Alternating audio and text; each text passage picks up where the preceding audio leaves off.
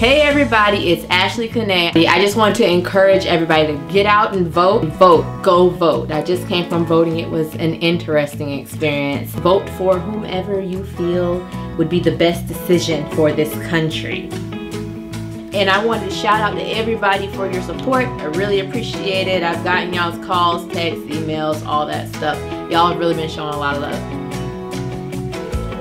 Y'all have really been showing a lot of love and I really appreciate it get your voice heard, get the vote out. You can't really rock the vote because Barack is out of office, so ugh. We're gonna miss you, Barack, oh my God! If you're not voting, you're kind of voting in a way, so please go vote.